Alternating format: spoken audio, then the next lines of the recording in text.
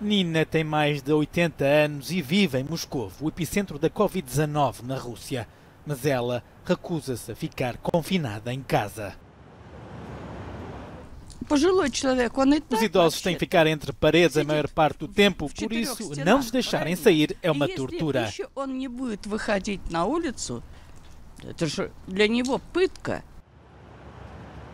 Ao contrário de Nina, muitas outras pessoas tentam permanecer isoladas. Os serviços sociais e voluntários ajudam.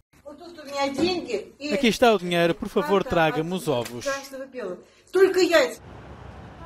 Os idosos em isolamento enfrentam vários problemas. Alguns não têm cartões de crédito e não têm acesso às pensões, já que os bancos estão encerrados.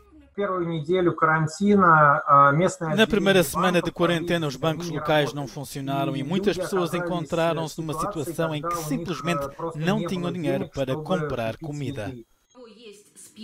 Muitos idosos não possuem computadores ou telemóveis modernos, outros não têm familiares. As fundações, os serviços sociais e os voluntários estão mobilizados, mas não é o suficiente. Estamos a falar de uma toda geração que está numa situação extrema e que estava a ser visitada, mas agora já não há esses recursos.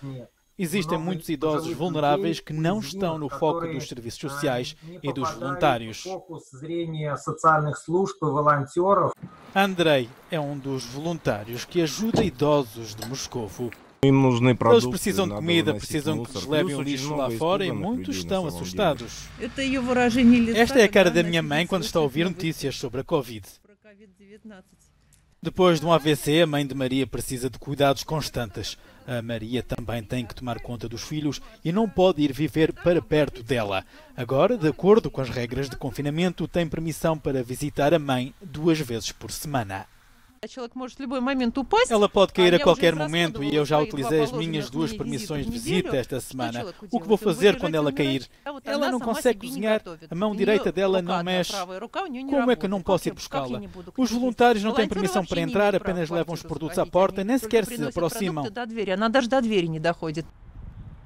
Não há dúvidas de que o auto-isolamento pode salvar vidas, mas para os mais idosos, Viver sozinho em casa pode ser perigoso. O governo russo financiou algumas organizações de voluntários, mas os críticos afirmam que não é suficiente.